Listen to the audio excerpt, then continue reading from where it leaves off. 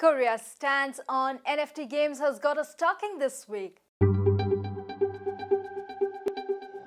Welcome to the Daily Forkast, November 22nd, 2021. I'm Megha Chaddah of Forkast News covering all things blockchain. South Korea's Game Rating and Administration Committee has reiterated its ban on NFT games. We'll take a look at what that means for both developers and gamers and a whole lot more coming up. Let's get you up to speed from Asia to the world. Let's kick off with some of the top stories out of Asia today. Bitcoin mining difficulty has come closest to the level it was at just before China's clamped down on the mining sector and the crypto crash that followed back in May. The difficulty level, which is a measure of the computing power required to mine Bitcoin, dropped four consecutive times immediately after China intensified its clampdown. But according to data from BTC.com, last week's adjustment saw an increase of almost 5%, the ninth increase in a row. However, a slight fall is expected for the next adjustment. Meanwhile, South Korea's Bithumb exchange has crossed the finish line, with its compliance report to the latest crypto regulations being accepted by the country's Financial Intelligence Unit. All four of Korea's major crypto exchanges, Upbit, Bithumb, CoinOne, and Korbit, are now officially licensed, having fulfilled all criteria of the crypto law, which that means that they can operate cash to crypto services. The small exchanges Flybit and GDAC have also been registered under the FIU. However, as they have not secured a bank partnership providing users with real name bank accounts, they are limited to offering token to token services only. You can find out more at forkast.news. Staying in Korea, NFT games once again the talk of the space. The chair of the Game Rating and Administration Committee said once again that it cannot allow NFT games. However, he added that not all blockchain based games are banned.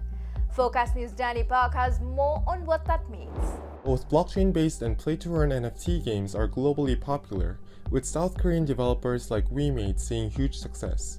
Its play to earn game Mir 4 was at number 8 on the games platform Steam's most played chart Monday afternoon Asia time.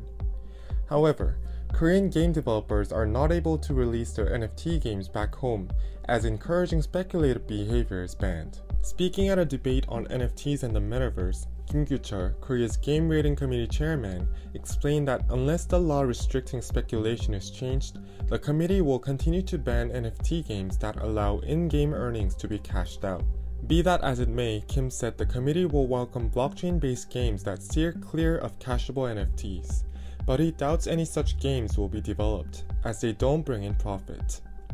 One expert told Forecast News the current regulations stifle growth and should be loosened up.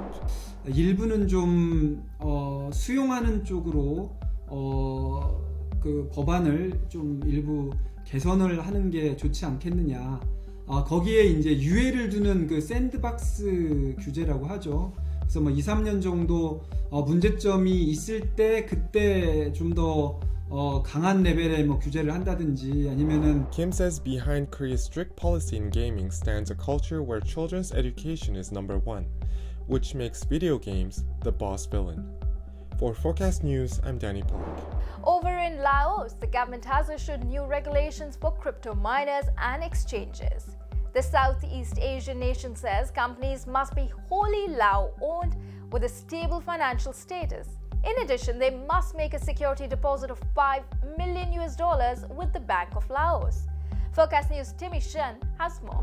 As reported by the Laotian Times, the country's Minister of Technology and Communications specified in addition that mining companies should use at least 10 megawatts of power under a six year extendable contract with the national electricity provider. The new rules also offer perks for crypto miners, with the government saying it will exempt power transmission and import fees for mining operations. Laos new rules for the industry come after the country authorized six firms to trade and mine cryptocurrencies back in September.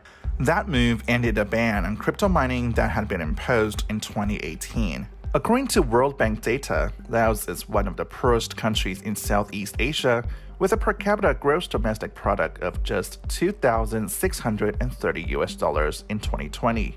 A report from U.S. Department of Commerce's International Trade Administration shows that in practice, the Lao economy is highly dollarized, with the currency frequently being used for private transactions involving imported goods.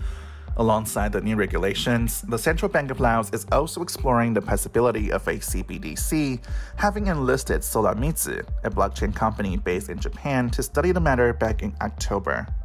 For Forkast News, I'm Timmy Shen. And that's the daily Forkast from our vantage point right here in Asia. Hit like, hit subscribe, appreciate it always. Help us reach our goal to reach more of you.